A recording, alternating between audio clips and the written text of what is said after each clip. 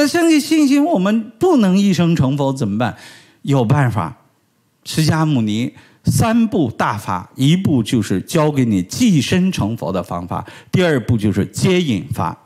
特殊，特别是离卦运这二十年的特殊时空，正在转变，正在转变。天盘会给我们一个对接的点。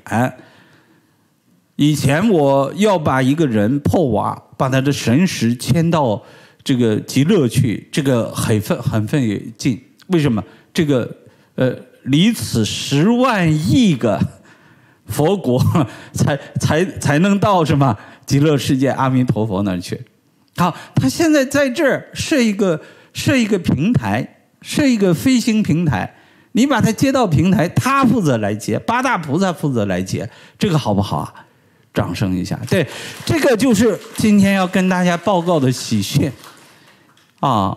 诸佛菩萨所有的圣贤，他会在我们的金马伦的上空，离这个我们这个地平面五千米的海拔高的那个点上。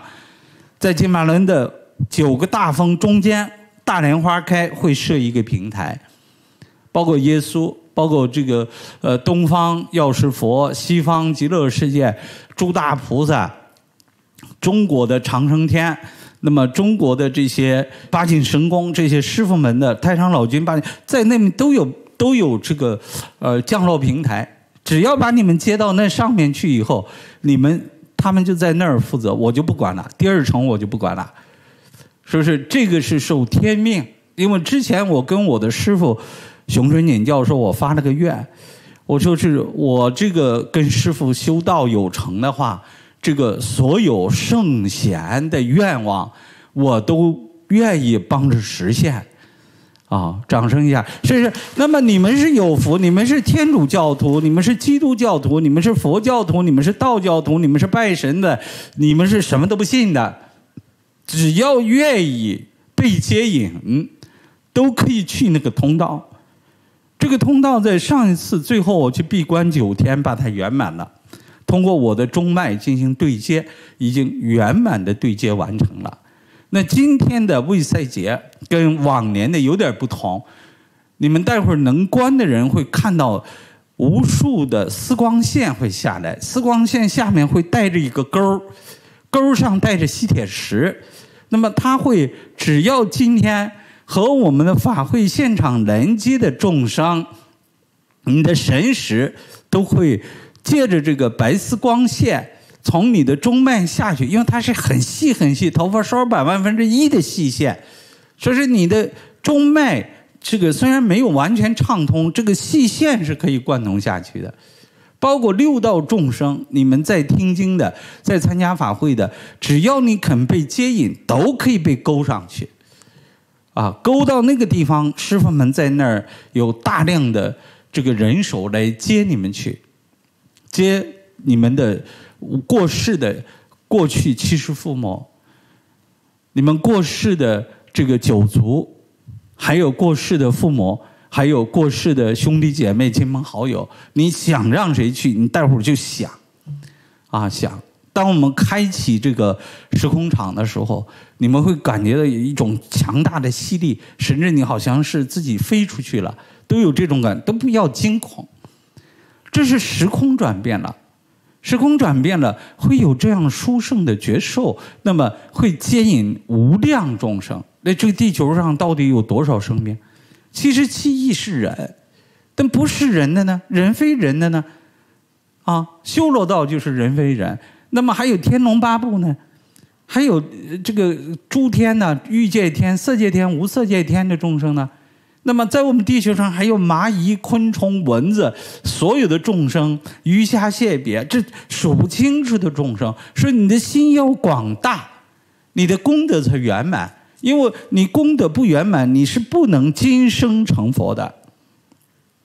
这是给大家一个，我把通道打开了，你的心要拼命的想，想谁？想到蚂蚁，想到昆虫。你是驾驶员，你开车。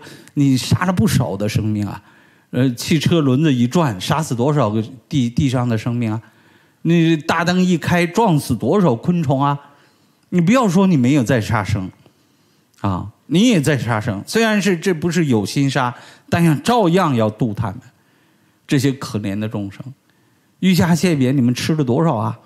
啊，今生没吃。有的人说老师，我今生吃素，那是因为你过去生吃太多了，今生不敢再吃了。啊，所以你不要觉得你这个呃就是一世的，它不是一世的。你生生世世造了多少恶，种了多少恶因，是不是？借这个都把他们渡到极乐世界去，渡极乐世界就他就不缠你了，对吧？不缠你，那你身上的病就好了，你的那个事业不顺利就顺利了，家庭不圆满就圆满了，你所有的东西都该顺顺利利了，是不是？这个接引法了得，释迦牟尼的传下的接引法。啊，把这个所有的这个南方佛、北方佛、东方佛、西方佛、八方佛、上下佛，哎，在经中都告诉你他叫什么名字。因为你可能不去，不想去西方极乐世界，但是你一听药师佛的名号，你就想去。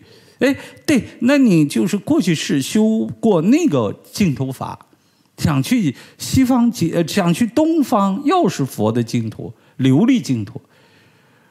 说是我们为什么有一个八十八八佛忏啊？这八十八尊佛，实际上我们从古到今成佛的数量无边，是不是？那么大众要升起广大圆满的方便为究竟心，度这些有缘众生。你只要想到他们，你只要想到七世父母。你只要想到你的列祖列宗，你只要想到蚂蚁，想到昆虫，想到鱼虾蟹鳖，想到所有的畜生道的、恶鬼道的、地狱道的，你的心要动一下。这个，呃我在文字上解密：念念不忘的念是上面是个命令的令，下面是个心。